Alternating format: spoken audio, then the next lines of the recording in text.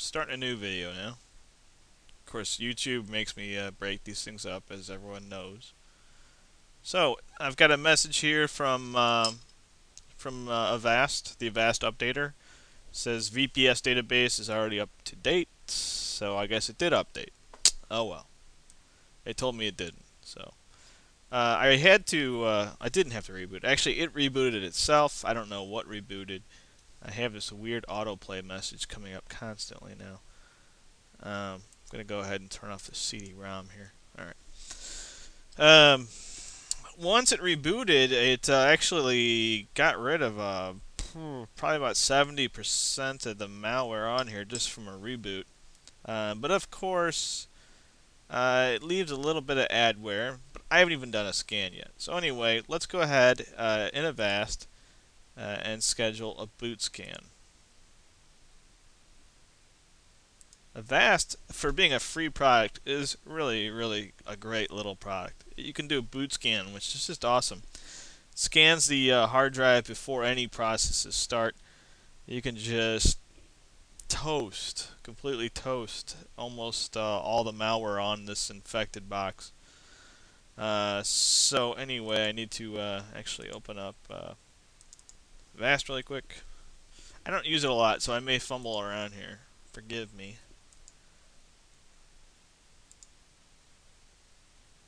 Uh, I, I listed uh, how I work with my my clients that I deal with every day in St. Louis. I listed the steps on my blog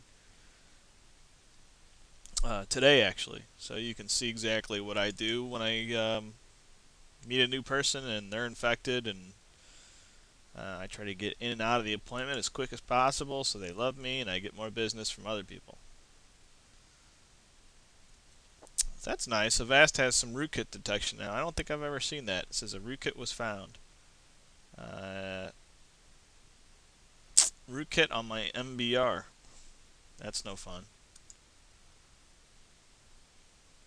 So we're going to go ahead and schedule a boot time scan. That's what it just asked me to do. And uh, we're going to go ahead and force a reboot really quick.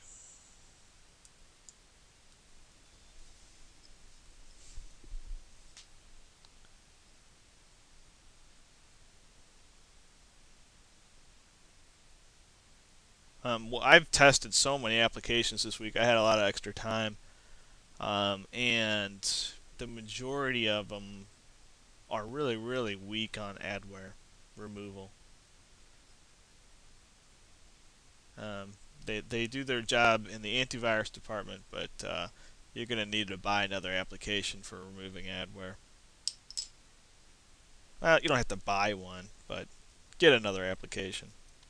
Super Anti-Spyware is my favorite, and many uh, many others' favorites. Favorite. Sometimes I suck talking on this microphone. I do. I know it. I always say it. Mm, uh, uh, too much.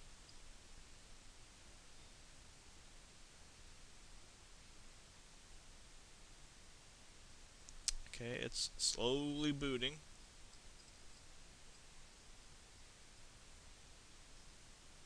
we should jump into uh, an Avast uh, screen here. It'd be kind of a bluish screen.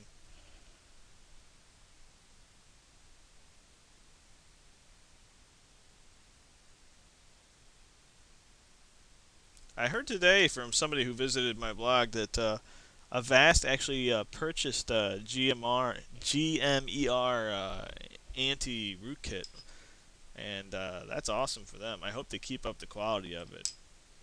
The GMER anti-rootkit is just a great application. I use it every single day because there's so many rootkits now. In fact, when I go to a client's house, I just assume they have a rootkit and just run GMER.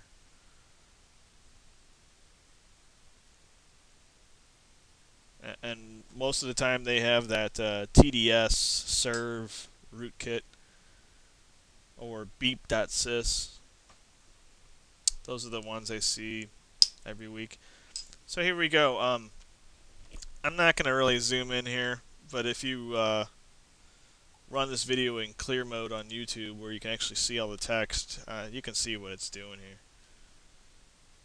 If you really want to look at all the text. And basically, what happens in an Avast boot time scan, it'll say scan of uh, scanning my local drive. It'll it'll say, hey, this file is infected by this particular virus or Trojan. What do you want to do? Do you want to delete it? You want to delete all? Move, move all. Move to their virus chest. Repair it. Avast gives you a lot of options. Uh, what I usually have to do is uh, I usually do a move all. And if it can't do a move all, I'll do a delete and so on. Repair really does nothing because most malware isn't repairable. It's bad to start with. so, uh, go ahead and pause the video while this is scanned. Be right back.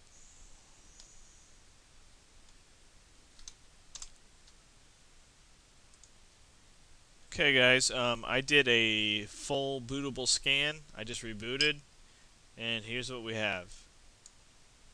Still a lot of uh, a lot of fake uh, adware type stuff. Fake Windows Security Center pops up.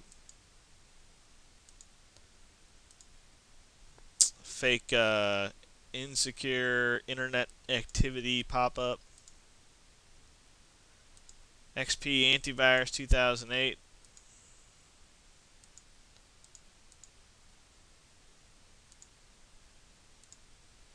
And I'm sure if it left XP Antivirus 2008, it's going to leave 2009, which is right there. Alright, well let's go ahead and do the thorough scan and see if the thorough scan uh, gets rid of anything.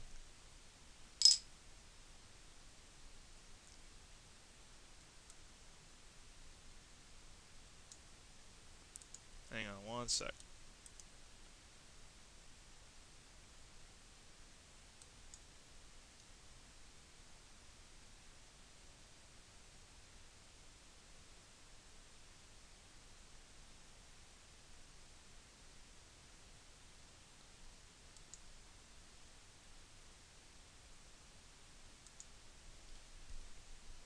I know a lot of uh, a lot of companies tend to ignore the the rogue uh, anti-malware and adware. But I really feel that these are probably the worst things out there because the whole end goal of anything malware based today is to get you to buy something so that you A spend money and B get your identity stolen. That's the whole point of everything today. So I really feel that adware needs to be taken almost as a number one priority. Uh, but so far I haven't really seen that except from PC Tools and Kaspersky. Uh, those guys seem to be on top of everything.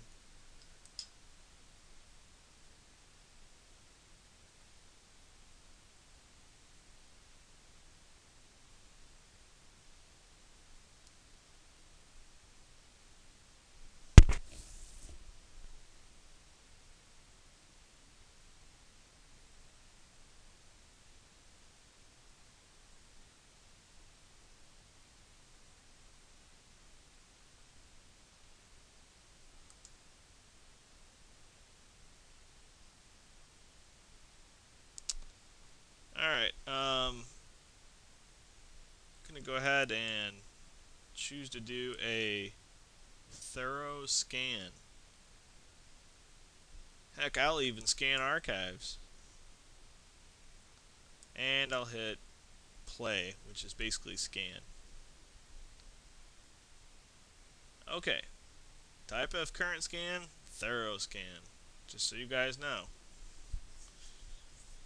Um, so, uh, I'm going to go ahead and stop this video, and when I come back, uh, that'll be part 3, and I'll kind of give my final opinion on the Avast Review 2 version 4.8. Be right back.